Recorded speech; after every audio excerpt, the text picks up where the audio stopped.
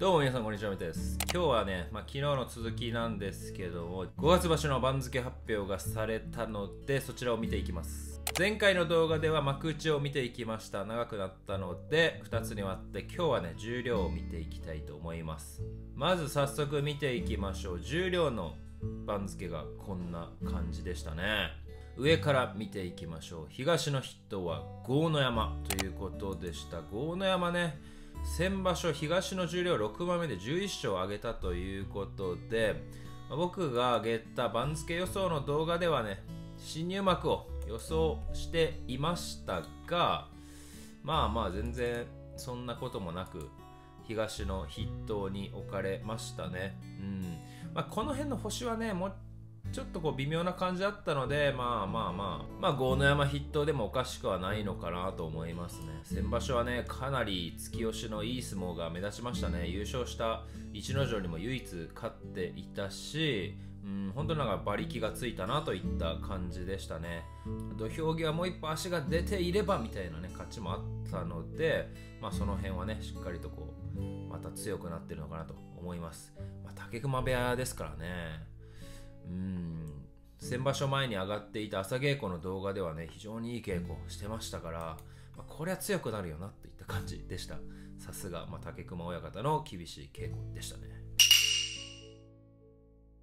そして西の重量筆頭が湘南の海ということになりました。この人ほんとすごいよね。重量は2場所なんですが2場所前13枚目で12勝そして先場所は3枚目で9勝ということで、まあ、本当になんか重量に入ってから伸び伸びとってるようなイメージですね。なんでこんな幕下で長くくすぶってたんだろうっていうぐらい強いよね、はい。まあ、体も大きいしなんかケツがでかい、うん、すごいねいい体してますね。まあ普通に行けば今場所も勝ち越して来場所新入幕になるのかな。なんかそれぐらい強さが、うん、あるなと。重量の中ではねありますね。そして2枚目が幕内から落ちてきた東龍。そして筆頭で負け越してしまった東白龍ですね。東白龍なかなか幕内に昇進できない。もうずっとね重量の上位でやっているんですがなかなかね先場所もあと1勝って感じでしたね。うん、まあ、今場所こそはって感じだと思います。そして東の3枚目にはこちらも幕内から落ちてきた武将山。さらに西には炎鵬ということになります。炎鵬も上げてきましたね。まあ炎鵬も元幕内力士ですからね。一時期はね相撲を覚えられてちょっと落ちてきたりもしていたんですがただやっぱなんか最近はね本当になんか動きも切れているというかなんか中に入る技術がね一段とこう磨きがかかったような気がしています。もう一回幕内でやる炎鵬みたいですね。そして4枚目は欧勝馬ローガとなっています。ローガが4枚目まで上げてきました。まあ、ローガね、もっとなんか勝てそうな気がするんだよな。僕はね、すごく高く評価しています。まあ、先場所もね、8勝7敗といって、しっかりと勝ち越していますね。特に7敗してから終盤の4連勝で勝ち越しっていうのはねやっぱり見事だったなと思いますが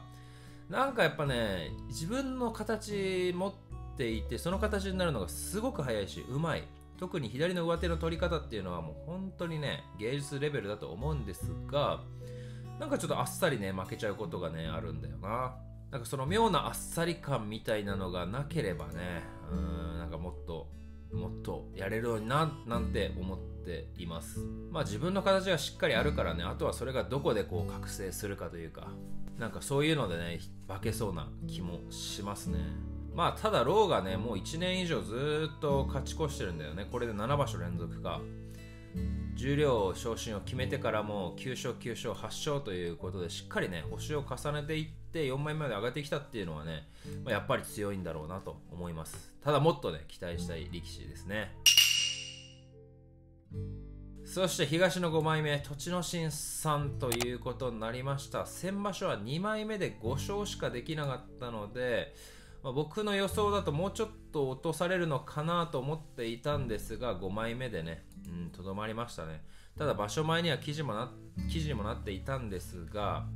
体はやっぱボロボロだけど心はねまだ折れていないといったことだったので、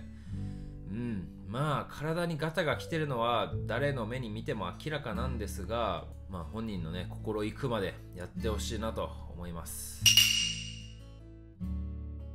さあそしてあとは適当に見ていくんですが東の7枚目貴健斗ですね先場所は12枚目とまなかなかの崖っぷちの地位から10勝を上げてまあ、結構番付を上げたなといった感じですね。これは、まあ、自己最高位ではないんですが、うん、なかなかいいとこにいるんじゃないでしょうか。そして西の7枚目、こちらもチュラの海ですね。先場所は9勝を挙げました。チュラの海、頑張れ。うん、頑張れ。本当にそう思います。そして熱海富士東の重量8枚目ということで8勝だったので半枚上がるだけとなってしまいました、まあ、先場所はね8勝だったんですけども長い相撲でね落合に勝つなどやっぱりポテンシャルっていうのは見せつけましたね。うん。まあまだまだ若いのでここで一回こうねしゃがんでさらに大きくジャンプアップしてほしいなと思いますね。そしてその落合は西の十両8枚目でした。先場所は新十両ながら10勝5敗ということで9日目まではねいっぱいでま優勝争いとね、うん、していたというのが本当にすごいですね。まあ、結局終盤というか中盤3連敗熱海富士逸ノ城豪ノ山とこの辺に3連敗してしまったんですが負けた相撲のうち、まあ、力でね本当負けてしまったなというのは本当逸ノ城ぐらいだったかな。うん。朝乃山に関しても、まあ、いい相撲を取っていましたね。負けてはしまったんだけどやっぱり落合やるなと。そういうところを見せつけましたね、まあ、なので今場所は本当にね、優勝とかもね、あるかもね、うん。あり得るかもしれない。まだ、大相撲入って2場所目と、次で3場所目なんですが、本当に重量優勝が期待できる力士ですね。まあ、ただ今場所はね、対戦相手も強くなるでしょうし、どうでしょうね、先場所当たらなかった栃ノ心だったりとか、湘南の海、この辺のね、まあ、東白龍とかね、この辺の重量でも上位の力士との対戦っていうものが組まれるかもしれないので、まあ、その辺は楽しみですね。まあ、あと、ローガとも対戦見てみたいかな。まあ、喧嘩四つであるんですけども、同じ四つ相撲、まあ、どう落合が行くのか、うん、非常に楽しみです。そして北の赤が西の10枚目で、先場所新十両で見事勝ち越した玉正鳳さんは西の十両11枚目となりました、まあ、本当にねこの力士の評価っていうものは僕はあんまり高くなかったんですけども本当に失礼しました、まあ、先場所はねちょっと怪我もありながら勝ち越したというのは本当に立派でしたね、まあ、動きがいいよね、うん、本当に土俵を大きく使って体大きくないんだけど本当にね動きがいい。それにね、それでね、相手をかき回すというか、まあ、自分のペースに持っていくというのがね、非常に魅力だなと思いましたね。